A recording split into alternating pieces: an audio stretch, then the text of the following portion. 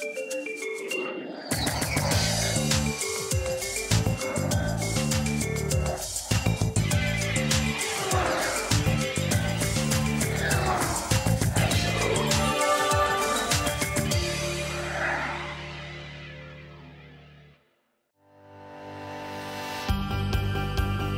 Scholars expects that each student will complete a practicum by the end of his or her scholar's experience. That practicum is an opportunity for students to actually put into practice what they have learned over the prior three semesters.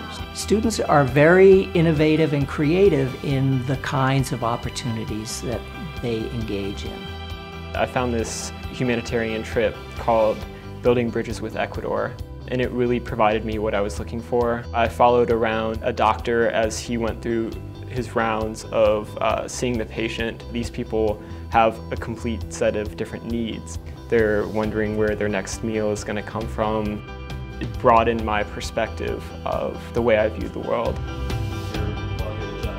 The Scholars Program really encourages the faculty to really help the students think about a practicum experience that will be useful beyond their time here. You know, what is it that's going to help them think differently?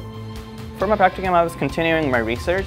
The research I'm working on is on lithium batteries, uh, which are present in your cell phone, in your laptops, uh, in everyday portable devices nowadays. They have a small piece called an electrolyte that's flammable, it's combustible.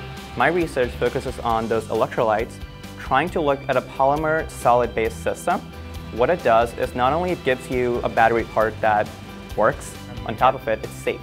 And when it comes to biomedical devices, it's a huge deal because safety is the driving factor in these medical applications. We have a practicum presentation open to the community. We stand in front of our poster and kind of talk about our experiences, what we learned, how it related to the Scholars Program. The fact that the students have to present their work, I think really gives it more weight to that experience, more, more validation to it.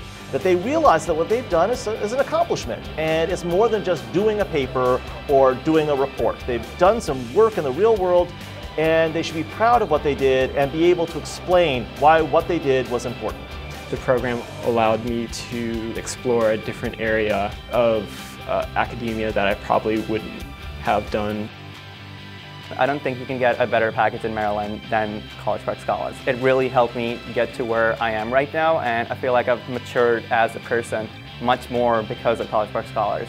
And I know if I can do it, you can do it too.